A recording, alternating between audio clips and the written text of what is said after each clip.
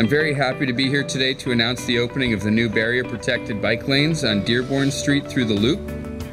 This is the first two way bike route with dedicated bicycle traffic signals in Chicago. When Mayor Emanuel took office, there were no protected bike lanes in Chicago.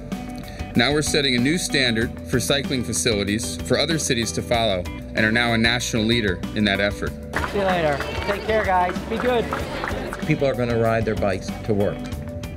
It's going to happen. Now we got to do it in a way that ensures protection for both the bicyclist and the driver, and we make sure that we're doing it in the best way. Since 2005, Chicago's seen the number of people commuting to downtown via bicycle increase by over 100%, and today there are nearly 20,000 people who commute daily on their bicycles. With innovative projects like this that make it safer to ride into the loop, we expect to see those numbers increase dramatically over the next few years. Protected bike lanes create a more organized traffic flow on our streets that's safer for everyone, whether you're walking or biking or even driving a car. This is especially important in congested areas like the Loop, which is why we're especially excited to see the nation's first protected bike lane through a central business district right here on Dearborn. Since Mayor Emanuel took office in May 2011, CDOT has built more than 58 miles of new bikeways. We've also refreshed another 20 miles of older bike lanes in the past 18 months, and this really is a remarkable achievement.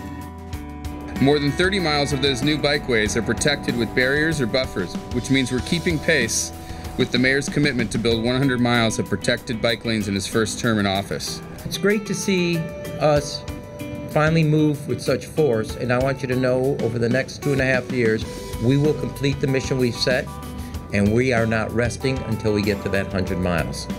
As part of that leadership role, today we're formally releasing the Chicago Streets for Cycling Plan 2020, which calls for a 645 mile network of bike facilities to be in place by 2020 to provide a bicycle accommodation within a half mile of every Chicagoan.